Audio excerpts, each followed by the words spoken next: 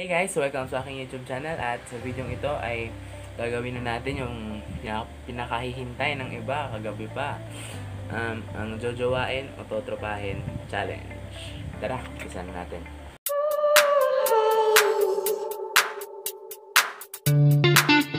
Okay, so before tayo mag-umpisa ay shoutout sa mga nagbigay ng mga celebrity and sa mga pictures, mga names na binigay nyo at just to inform you guys, ang iba dito ay mga kakilala ko na, mga kaibigan ko and tara, simulan na natin. Huwag na, nat- huwag na tayo magpaligoy-ligoy pa. Umpisa na natin kasi hinihintay na to eh. Marami pa, kagabi pa. so, ang una ay kakilala ko si Af Af Mohana. At um, ito siya. At nag-request na rin siya na isabay ko na raw yung IG at Twitter niya kaya eto na. And Af Af Mohana, jojowain o totropahin? Para sa akin, totropahin. Kasi si Af Af kasi parang ah, ang sarap niyang kasama, parang ang kalog. May ang lakas ng ang lakas ng topak niya pag kasama mo siya sobra. Sobrang one of the boys siya pag pag andyan, andyan siya kasama mo. Kaya totropahin ko siya. Pwede na! Next is si Jamie Viray. Oh. okay guys, um, Jamie Viray is one of my ex. Ah, hindi ko na hindi ko na sasabihin kung pang ilan siya basta isa siya sa mga ex ko. Gunggong! Barinig kita sa mukha eh! Um, ngayon, since experience ko na jowain siya, okay naman, okay naman yung experience. I mean, I love being with her and so um, pero wala na eh. So, totropahin.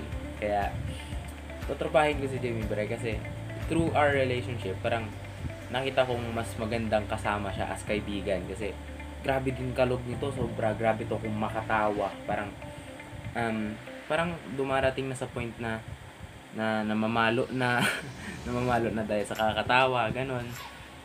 Kaya totropahin ko to. Um, next is si Jane De Leon. So, artista, artista to eh.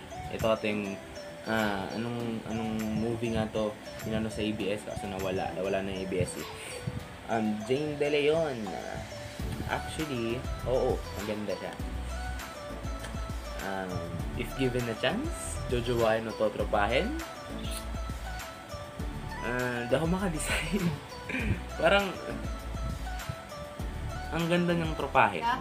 Paano masabi? Tinatanong ko nga eh, nagdodroga ka ba? Idaragtas niyo ako para masigurado niyo? Oo, maganda siyang tropahin. Kasi, parang, um, may vibe siya na pang tropa talaga.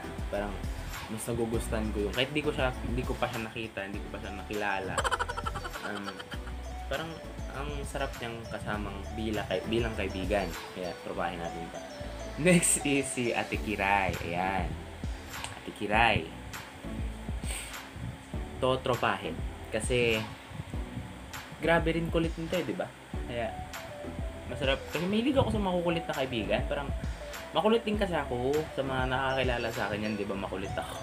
Kaya, totropahin natin to si Ate Kiray. Next is si Ivana Alawi. Ayan, si Ate Ivana Alawi.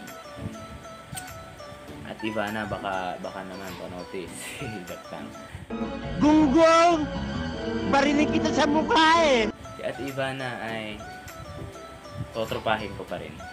Kasi, yung mga tipo ni Ate Ivana yung ang sarap tropahin. Ang, ang parang, um, parang siya yung tipo na gusto ko sa mga tropa ko. Parang ugali niya yung gusto sa mga tropa ko. Ganun. Then, ako, nako, nako naman tong kaanin na to. Maraming nakakakilala sa kanya ngayon. Si Mary Light Lamayo. Oo, totropahin ko to. Parang, kasi in- hindi, hindi, hindi ko kasi napanood yung vlog niya, kaya hindi ko siya masyado nakilala. Kilala ko lang siya dahil sa ano. Basta yun na yun. Um, oo, totropahin ko siya. Parang, same din. Parang, ka-vibe ko siyang katropa. Oo. Next is si Ate Zainab Harake. Ito, cash ko. Pwede na! Ate Zainab Harake, pag given a chance, totropahin o jojowain. Jojowain. Kasi, tipo niya yung gusto kong jowa. Oo. Yung parang, may pagka-boyish na girly pa rin. Tapos parang ang cool. Ang cool niyang kasama. Yeah. Tapos si Princess Thea. Ang cute nito. ang cute nito. At panigurado kalog din ito. Di ba siya yung ano, yung sumikat na may su- sumikat na kanta yung ano, Princess Thea, rin yung title ata. Ewan ko. Basta narinig ko kanta nito. Um, jojowain o totropahin. Pwede gawing kapatid. ang cute kasi parang ang ganda niya maging kapatid. kapatid na lang. Hindi. Ah, Princess Thea, jojowain o totropahin. Pag nasa tamang edad siguro jojowain. Gunggong! Hindi ko alam kung bakit. Pag nasa tamang edad to, oo, jojowain. Kasi, mahilig ako sa patpatin. Kahit malaki ako, mahilig ako sa patpatin. Tapos, wala, cute siya eh. Pero sabi ko nga nung last video, kilalanin muna natin. Hindi pa natin alam yung galing nito eh. Kaya, next is, kaibigan ko. Si Casey Lutian. Ayan siya. Casey Lutian ay... Si Casey Lutian ay nakasama ko na ilang years na. Magsasampung taon na ata kami magkakilala. So, nasana akong tropahin siya. Kaya totropahin na lang. Parang, ang ano kasi siya, parang sa amin magtotropa siya yung pinaka...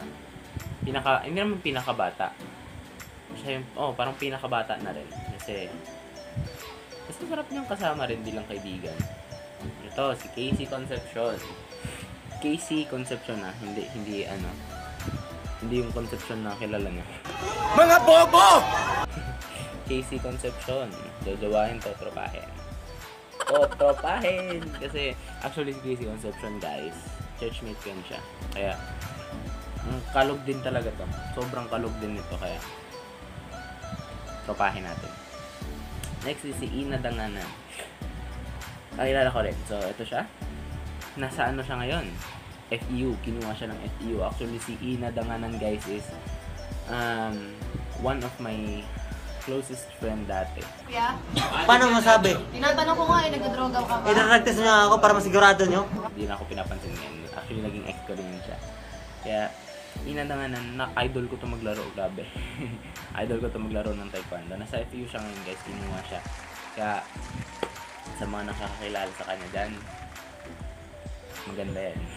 so, jojowain o totropahin, jojowain. Para may, para may poprotekta sa akin. Gunggong! Barinig kita sa mukha eh! Hindi.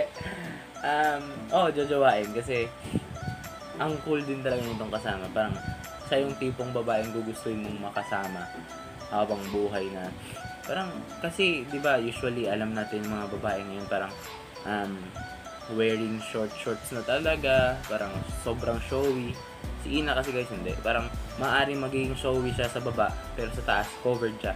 Like for example naka short siya sa baba pang taas naka oversized na t-shirt siya. Or pag naka crop top naman siya sa hindi naman siguro may mag crop top si Ina eh. pero siguro pag magka crop top to magka high waist to panigurado. And pang 12, nako, nako, nako, patay tayo dito kay Kuya Daniel. Catherine Bernardo. Ate Kat, Ate Kat, Ate Kat. Tutropahin natin to. Kasi, si Ate Catherine kasi, parang sa akin, sa ano ko, sa perspective ko, pang tropa ko talaga siya. Isa siya sa mga gugustuhin kong tropahin. Oo. Parang magiging ka-vibe ko talaga sa Ate Kat. Next is si Ilona Garcia, requested by Alriz Gantan, aking napakatalik na kaibigan at classmate junior high pa. Ilona Garcia, jojowain o totropahin. Sorry kung nakatingin ako dito at may picture kasi ako ni Ilona. Ah, jojowain. Jojowain ko to. Kasi, ang, ah, the face though, parang, yung based on physical appearance ah, parang ang ano ang ano ng kasama ng mukha niya parang catchy sa catchy sa mata yung mukha niya. Ang cute sobrang cute ng ngiti ang cute ng ang ganda ng mata. Mm, pero di ko kasi to nakilala hindi ko pa to di ko pa nakita kung may vlog man to di ko pa nakita. Pero based on, based on ano lang physical appearance. Oh sabi ko may ligaw sa patpatin kaya jojowain ko to. Kasi siguro naman based on appearance lang parang kalog din to. Parang makulit din to panigurado. Mm kaya sige jowain natin. Next is Pilariza Araneta. Requested ng classmate ko na si James Dales. Dales Dales ano ba? Basta yun. Oh sige tuksoin mo na yung ano mo tropa mo. Pilariza Araneta ay ah. Jojowain o totropahin pwedeng 50% na jojowain 50% na totropahin Gunggong! Barinig kita sa mukha eh! parang si Pilar Riza parang kahit hindi ko pa siya nakilala based on pictures lang nakita ko na siya sa picture. Parang parang maganda siyang jowain na tropahin parang alam alam niyo yung usually na gusto ng mga tao ngayon na yung yung relationship na may kayo pero parang friendship pa rin yung nananalo 'di ba parang parang ni parang halo ganun next is Julia Bell ito teammate ko to dati sa Clarent Taekwondo player ito siya um Julia Bell, Julia Bell. Kalog din to guys. Sobrang ano to, makulit, sobrang ang sarap nito kasama pag ano, magkasama kayo. Tapos naging close mo, ang sarap nito kasama sobra. Parang ah kasi nung una, nung hindi pa kami nagkakilala, ano lang, tingin-tingin lang kami. Tapos nung naging close na kami, parang magkapatid kami nito guys. Palo-paluan, habul-habulan. Parang ano, mga bumalik kami sa pagkabata. Sarap nito ganito kasama. Kalog to eh. Next is si... Ah, so, si Julia Bell ay totropahin talaga. Pwede magpalit ng isip. Wait lang, di ako makadecide. 50-50 rin. Ah, Hindi, 70-50. Ah, 70-30. 70% jojowain, 30% na totropahin. Kasi, feeling ko masarap ng jowain. Next is teammate ko ulit. Our boys, Chelsea. Eto, idol ko to sa mag- eh, idol ko din to maglaro. Taekwondo player din to siya, guys. Ito siya. Yan. Our boys, Chelsea. Pwede coach. Coach na lang. Ah, our boys, Chelsea. Duduwain na totropahin. Totropahin. Kasi, based on my experience sa mga, dahil sa, based on my experience na nakasama ko siya, ang sarap niyang kasama bilang tropa, guys. Hmm, Matanda rin ako dito, kuya nga tawag sa akin ito eh. Ah, oh, totropahin ko to, guys. Ah, kalog din to, may pagkakalog din to siya. Parang same sila ng ano ni ano ni Ina, pero mas cool si si ano, DLC. Kasi basta hirap explain. Next is si Emeline Mortel. Um, jojowain o totropahin? Emeline Martel. Hirap mag-decide dito. Emeline Martel kasi is isa sa crush ko. Gunggong! Um, so, mm, if given a chance, Emeline Martel, jojowain o totropahin? Jojowain. Kasi, mm, um, siya rin kasi yung ano, yung tipo na jowa, yung gusto kong jowa, yung ganong klaseng tao. Kasi si Emeline guys, is nakilala, kil- kakilala ko rin yan. Yeah, jojowain. Kinikiligin siya, oh.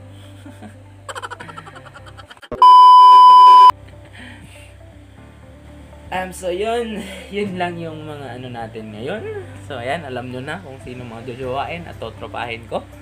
Ah, so, yung mga nagsabi na tutuksuin daw nila tropa nila, tuksuhin nyo na. Kayo nang bahala dyan. Basta wala ako ah, request nyo lang yan. Paano masabi? So, yun na. Yun na yung mga... yun na yung mga totropahin at jojowain ko. At salamat sa manonood at please like this video and subscribe to my channel. Alam nyo yung subscribe, yung nasa baba, dyan, dyan o dito. Basta, yung pula na gano'n, tapos may pangalan na subscribe. Lalabas naman dito sa screen yan mamaya. Um, tapos i-click nyo na rin yung bell para ma-notify kayo kung may upload ako. And, yun! So, let's go for the shoutout. Okay, so shoutout na tayo guys. Um, una is shoutout dun sa mga nagbigay ng mga pangalan at mga pictures na gusto nilang malaman na jojowain ko ba sila. At ito ang mga gusto ng shoutout. Shoutout kay Itretan, yun yung classmate ko na si Kan. And shoutout kay Angelica Indig. Shoutout kay Gabriel Edley Benventura, nakakailang shoutout ka na po. Uwi ka na. Shoutout kay Jessie Puntanyel. And shout out kanino pa ba? Nawala yung isa eh. Nawala yung isa. Wait lang. Asa na yun? Asa na yun? Ayun. Shout out kay Albert John Gampay. Th- thank you sa ano, sa sa inspirational na message sa akin kanina. Napasa mo ako dun. Salamat. So, thanks for watching guys. Please like this video and comment down below kung ano yung gusto nyong ah, gawin kong vlog next next vlog. Alangan. And like and subscribe. Subscribe to my channel guys. Alam nyo na, lalabas na ngayon dito ata or maya, maya pa basta may lalabasan dyan. So, see you in my next vlog guys. Ingat lagi. God bless.